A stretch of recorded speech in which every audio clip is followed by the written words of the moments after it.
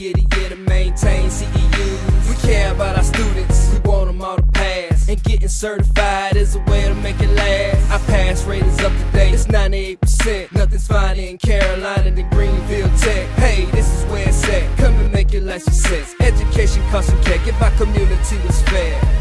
And healthcare is our expertise. And we are here to serve